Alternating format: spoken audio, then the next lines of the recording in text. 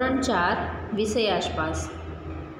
બધા વિદ્યાર્થીઓને ખાસ સૂચના છે કે તેઓ એરફોન લગાડીને સાંભળે, જેથી તેને સરખું સંભળાઈ શકે અને સરખું સમજી શકે. હવે એમાં આપણે છે પ્રકરણ નંબર સોળ કામનો મહિનો. તો હવે એમાં આપણે આગળ જોશું? તો આપણે જોઈએ તો આપણી આજુબાજુમાં આસપાસમાં આપણે ઘણા પ્રકારના પ્રાણીઓ જોવા મળે છે. તેમાં પશુ પંખીઓ, જીવજંતુઓનો સમાવેશ થાય છે. પ્રાણીઓમાં તેમના કદ, રંગ, શરીરના રંગો, ખોરાક લેવાની ટેવો હલનચલનના પ્રકાર અને રહેઠાણમાં વિવિધતા જોવા મળે છે. એટલે કે પ્રાણીઓના શરીરના અંગોમાં વિવિધતા જોવા મળે છે. જેમ કે કેટલાક પ્રાણીઓને પૂંછડી હોય છે, કેટલાક સૂંઢવાળા હોય છે, કેટલાક તે બે બે કે વધુ પગ હોય છે. તો કેટલાકને પગ હોતા નથી. કેટલાકને ચાંચ અને પાંખો હોય છે, તો કેટલાકને શિંગડા જોવા મળે છે. પ્રાણીઓને ખોરાક લેવાની રીતો પણ જુદી જુદી હોય છે. કેટલાક પ્રાણીઓ મોં વડે કે જીભ વડે પાણી પીવે છે, તો કેટલાક પ્રાણીઓ ચાંચ વડે ખોરાક લે છે. કેટલાક પ્રાણીઓ સૂંઢ વડે ખોરાક લે છે, તો કેટલાક પ્રાણીઓ આગળના બે પગ વડે, તો કેટલાક પ્રાણીઓ પોતાના બે પગ વડે ખોરાક પકડીને ખાય છે. એવી રીતે આપણે બધા પ્રાણીઓમાં વિવિધતા જોવા મળે છે. હવે એના વસવાટમાં તો આપણે પશુઓ પોતાના બનાવેલા રહેઠાણમાં રહે છે, તો પાલતુ પ્રાણીઓ છે એ આપણે બનાવેલા, એટલે કે આપણે કૂતરો કે બિલાડી કે કાંઈ પાડ્યું હોય, તો એ આપણા સાથે આપણા ઘરમાં રહે છે. કેટલાક પ્રાણીઓ છે એ જમીન એ જમીન અને પાણીમાં તેમની બંનેને, બંનેમાં રહે છે અને પક્ષીઓ છે રહેવા માટે ઈંડા મૂકવા માટે વિવિધ પ્રકારના માળા બનાવે છે. પક્ષીઓને માળા બનાવવાની રીત પણ જગ્યાની પસંદગી કરવામાં પણ વિવિધતા હોય છે. તમે માળા જોયેલા હશે તો બધા પશુ પંખીઓના માળા છે એ તમને અલગ અલગ જોવા મળશે. દરેક પક્ષીની ચાંચ એકસરખી હોતી નથી. એ આપણે આપણા આગળના પાઠમાં શીખી ગયેલા છે. કોઈ પક્ષીની ચાંચ ટૂંકી છે, તો કોઈ પક્ષીની ચાંચ લાંબી છે, તો કોઈ પક્ષીની ચાંચ ચપટી છે, તો કોઈ પક્ષીની ચાંચ વાકી હોય છે. પ્રાણીઓના દાંતમાં ઉપયોગમાં ઘાસ, પાન, કૂણી, ડાળીઓ ચાવવા માટે, ખોરાકને પકડવા માટે, ખોરાકને તોડવા માટે, ચીરવા માટે તેમજ વસ્તુને કાપવા કોતરવા માટે કરે છે. તો આપણે આવી રીતે બધા પશુ પંખીઓમાં વિવિધતા જોવા મળે છે. તો આપણે આ પાઠમાં થોડીક વધારે માહિતી લઈશું. તો આપણે આપેલું છે બાલ મંદિર ભાવનગર તેર એપ્રિલ ઓગણીસો ને છત્રીસ. હવે આ ક્યારની વાત છે? તો કે ભાવનગરમાં બાલ મંદિર છે એમની વાત કરવામાં આવે છે. વહાલા બાળકો બપોરના ત્રણ વાગ્યા છે. આકાશમાં વાદળો નથી, સૂર્ય તપી રહ્યો છે. ચકલીઓ, કબૂતરો ફૂલ ચકલીઓએ ઝાડીઓમાંથી તેમના માળા બનાવવાનું શરૂ કરી દીધું છે. ઘણા પક્ષીઓ તેમના માળા બનાવી લીધા છે અને થોડા માળામાં તો ઈંડાનું સેવવાનું કામ ચાલે છે. પક્ષીઓને માતા પિતાઓને તેમને બચ્ચાઓને જુદા જુદા પ્રકારના જીવજંતુઓ અને બીજી વસ્તુ ખડવા ખવડાવવાનું ચાલુ કરી દીધું છે. તો હવે આપણે અહીંયા વાત કરે છે કે બપોરના ત્રણ વાગ્યા છે. આકાશમાં વાદળો નથી. પરંતુ સૂર્ય તપી રહ્યો છે. હવે એપ્રિલ મહિનો હોય ત્યારે ખૂબ જ ગરમી પડતી હોય છે.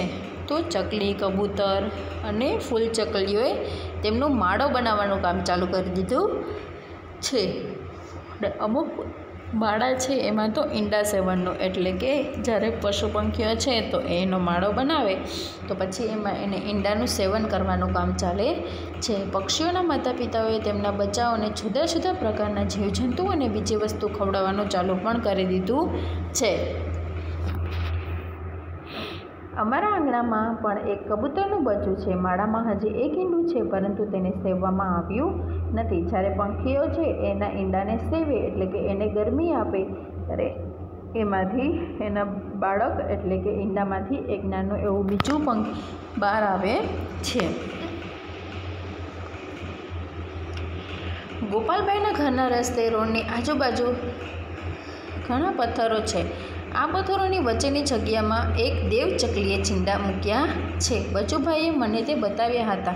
મેં દૂરબીન વડે તે જોયા હતા. મેં જોયું તો માળો ઘાસનો બનેલો અને તેની ટોચ ઉપર નડમ દાળીઓ મૂળ, ઊન, વાળ અને પીંજેલું રૂ હતા. આ રીતે દેવચકલીએ તેનો માળો બનાવ્યો છે. બધા તેના બચ્ચા માટે કેવું નરમ અને હૂંફાળું ઘર દેવચકલીએ કાગડા જેવી નથી.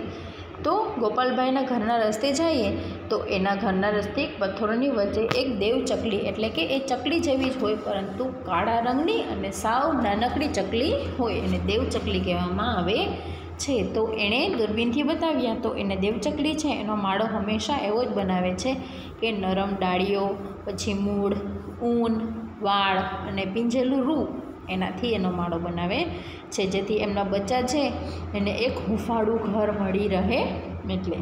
તો કે દેવચકલી એક કાગડા જેવી નથી. કાગડો, માળો બધા પ્રકારની વસ્તુથી બનેલો હોય છે. તાર અને લાકડાનો પણ કાગડો છે એ માળો બનાવેલો હોય છે. મેં દેવચકલીના માળામાં બચ્ચું પણ જોયું હતું. તેની ચાંચ પહોળી રાખીને બેઠું હતું. તેનું મોં અંદરથી લાલ હતું. એટલી વારમાં તો દેવચકલી ઉડતી ઉડતી માળામાં આવી અને બચ્ચાને ખુલ્લી ચાંચમાં કંઈક મૂક્યું. કદાચ થોડા નાના જીવજંતુ ત્યાં સુધી સાંજ પડવા આવી અને દેવચકલી તેના બચ્ચા સાથે જ ગોઠવાઈ ગઈ હતી. હવે તો દેવચકલી છે, તો એના બચ્ચા છે, તો એના બચ્ચાને એને ખવડાવવાનું હોય. એટલે કે એના બચ્ચા માટે એ કંઈક લેવા ગઈ હતી. એટલે કે જીવજંતુ ખાય, ચકલા હોય છે તો એ જીવજંતુ ઈળું એવું બધું ખાય છે. એના માટે એ લેવા ગયેલી હતી અને એનું મોઢું જોયું તો એક ચાંચ ખુલ્લી રાખીને બેઠું હતું અને એનું મોઢા અંદર કેવું હતું તો કે લાલ રંગનું હતું. અને એ થોડીક વાર થઈ, એના બાળકને ખવડાવ્યું. ત્યાં તો સાંજ પડી ગઈ અને સાંજ પડી એટલે પછી એ એના બચ્ચા સાથે ન્યાજ રહે. તમે જાણો છો કે કોયલ ખૂબ જ મધુર ગાય છે. તમે જાણો છો કે કોયલ પોતાનો માળો બનાવતી નથી. તે તેના ઈંડા કાગડાના માળામાં મૂકે છે. કાગડા પોતાના ઈંડા સાથે તેના ઈંડાને પણ સેવે છે. હવે કોયલબેન છે તો એ ખૂબ જ સરસ ગાય છે, એનો અવાજ છે એ ખૂબ જ સરસ હોય છે, તમે સાંભળેલો હશે. પરંતુ જે કોયલબેન છે એ થોડા લૂચા છે, તો એ છે એ પોતાનો માળો બનાવતા નથી. જ્યારે કાગડાએ માળો બનાવેલો હોય તો એના માળામાં પોતાના ઈંડા સાથે મૂકી આવે છે. અને કાગડો છે તો એને ઈંડા સરખા જ હોય, એટલે એને ખબર પડે નહીં. એટલે કાગડી છે એ એના ઈંડા પણ સાથે સેવે છે. નજીકમાં એક નાનું વૃક્ષ છે. તેની ડાળી પર માળો લટકે છે. પક્ષીઓ અદ્ભુત રીતે જુદા જુદા હોય છે. કાગડો અને માળો વૃક્ષ ઉપર ઊંચે બનાવે છે. કબૂતર તેનો માળો થોરના કાંટાઓમાં અથવા મહેંદીની વાડમાં બનાવે છે. ચકલીઓ માળ આજુબાજુમાં ઘણી આસપાસમાં ઘરમાં અને બહાર પણ જોવા મળે છે. તે તેનો માળો ગમે ત્યાં બનાવી દે છે.